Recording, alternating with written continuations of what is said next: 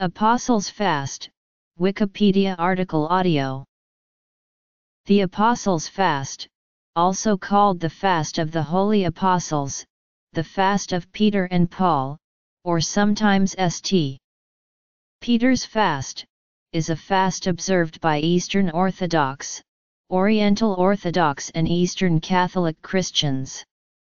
In the Byzantine tradition, the fast begins on the second Monday after Pentecost, whereas in the Coptic and Old Syriac traditions, the fast begins on the first Monday after Pentecost. It continues until the feast of Saints Peter and Paul on June 29. Having rejoiced for fifty days following Pascha, the resurrection of Jesus Christ, the apostles began to prepare for their departure from Jerusalem to spread Christ's message. According to sacred tradition, as part of their preparation, they began a fast with prayer to ask God to strengthen their resolve and to be with them in their missionary undertakings. History Practice The scriptural foundation for the fast is found in the Synoptic Gospels, when the Pharisees criticized the apostles for not fasting, Jesus said to them, Can the children of the bride chamber mourn, as long as the bridegroom is with them? But the days will come, when the bridegroom shall be taken from them, and then shall they fast. In the immediate sense, Christ was referring to his being taken to be crucified, but in the wider sense it is understood in terms of his ascension into heaven, and his commission to preach the gospel, which can only be accomplished with prayer and fasting. The tradition of the fast has existed at least since Pope Leo I, as is evidenced by his homilies, though it has subsequently been forgotten in the West. The fast is thought to have been instituted out of thanksgiving to God for the witness of the apostles of Christ. With this fast, believers express their thanks for the apostles' endurance of persecution during their mission. The apostles' fast is not as severe as Great Lent or the Dormition fast, but entails fasting from red meat, poultry, meat products, eggs, dairy products, fish, oil, and wine. Fish, wine, and oil are allowed on all days except Wednesdays and Fridays.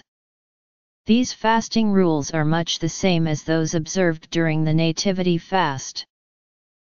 As with the three other fasts of the church year, there is a great feast that falls during the Apostles' fast, in this case, the feast of the Nativity of St. John the Baptist. In some places, the services on weekdays during the Apostles' Fast are similar to the services during Great Lent. Many churches and monasteries in the Russian tradition will perform the Lenten services on at least the first day of the Apostles' Fast. Duration of the fast The length of the fast is variable, being determined by the date of Pascha.